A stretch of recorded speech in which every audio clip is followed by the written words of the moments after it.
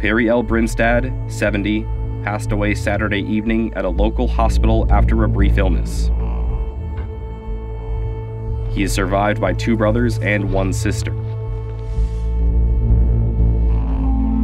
Funeral services will be held Wednesday morning at 10 o'clock at the Dull Funeral Home. Interment will be made in the Campbell Cemetery.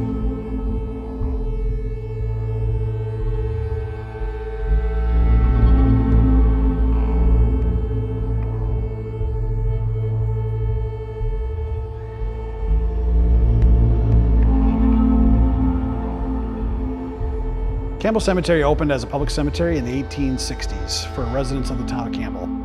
As North La Crosse grew and railroads laid down tracks in the late 1800s, the cemetery became geographically separated from the town of Campbell.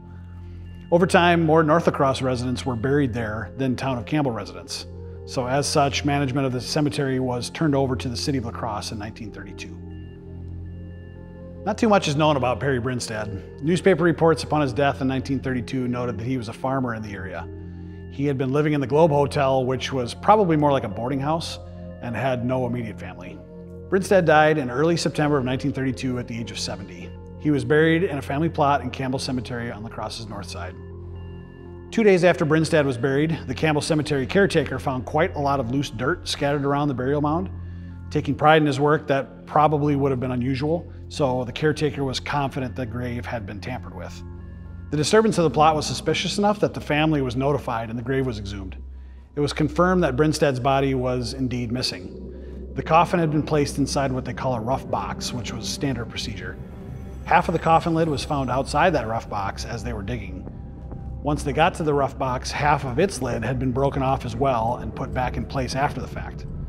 Investigating officials ascertained that in this way, the grave robbers were able to remove the body from the casket inside the box without actually taking the box or the casket out of the grave. Newspapers around the state, including those of Madison, Oshkosh, Racine, and even Winona, Minnesota, carried this story. The headline was Corpse Stolen from Campbell Cemetery Grave on September 30th. It must have been quite a shock to most La Crosse people to have read that in the morning's paper. The grave robbery was thought to have occurred on September 24th, a Sunday, as witnesses reported seeing a vehicle in the cemetery in the early hours of 2 to 4.30. To the west of the cemetery were the busy and noisy yards of the Chicago, Burlington, and Quincy Railroad, which also reduced visibility into the cemetery. So the two main motives police detectives postulated were that either the body was stolen for medical experiments or perhaps the theft was to bilk an insurance company by faking another man's death by arson. The newspaper noted that Brinstead was a family that didn't have any riches at all, so the possibility of a ransom attempt was denied. Since Brinstead had no immediate family, perhaps the thieves thought his grave would not be visited by grieving relatives and a disturbance would go unnoticed. The mutilated body was found several days later after police let the media report the story. The thieves knew then that the police and community had knowledge of the crime and hastily wrapped the remains up in some canvas bags and left them on Pettibone Island to rid themselves of the evidence. Captain Herman Rick was notified by Glenn Clements that a body was lying in a clump of willows on Pettibone Island below the municipal tourist camp.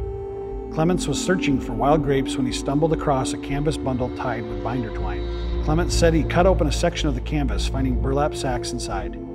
He detected a head of a human being in one of the sacks. Captain Rick ordered the body removed to the morgue of coroner Raymond Dwyer, where the discovery of the mutilations was made. When the body was found, it was discovered that the legs had been separated from the torso and there were numerous incisions. A doctor believed that the cuts were consistent with someone who had medical training. The remains were reinterred in the Brinstad grave in Campbell Cemetery after identification. Dissection of human bodies was a key component of medical education before synthetic options became available. However, there was no medical college in La Crosse, only nursing training schools. Perhaps the culprits were medical students from elsewhere or were dropouts. This story remains an unsolved mystery. No one was ever taken into custody or charged with any crime.